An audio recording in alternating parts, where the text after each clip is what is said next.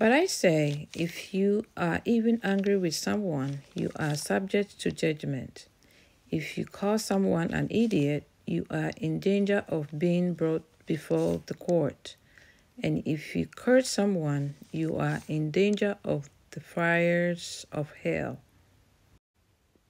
When Jesus said, But I say, he was not doing away with the law or adding his own beliefs.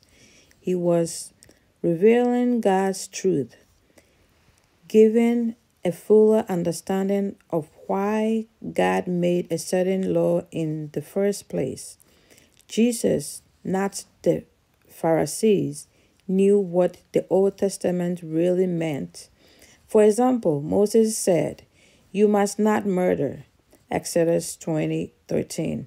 Jesus taught that we should not even become angry enough to murder, for then we have already committed murder in our hearts. The Pharisees read this law and, not having literally murdered anyone, felt that they had obeyed it. Yet they were angry enough with Jesus that they would soon plot his death, though they would not do the dirty work themselves.